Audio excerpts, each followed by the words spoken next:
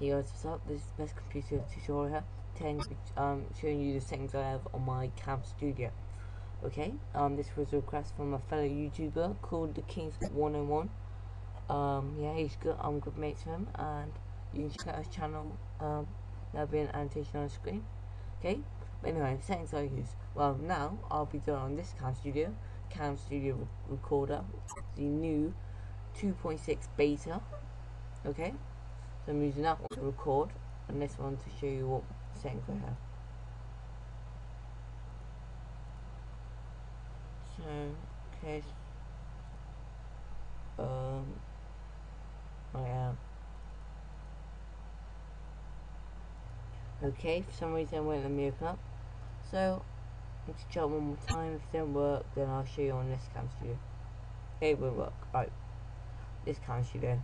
Okay, this is what you'll probably have. Okay, if I was you, um, the settings I have is region full screen, so everything.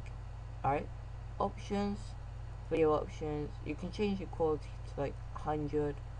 Um, the original one was on 70, and this one records in HD. So I don't know what it'll do at um 100. Microsoft Video 1. Um, then click OK options again. You can do cursor options and have it highlighted. But have like my, a highlight cursor. So I don't tend to use that that often because I don't really like it. Um, record audio from microphone or from speakers. Audio options. Uh, um, I didn't really have any of these that sort of stuff.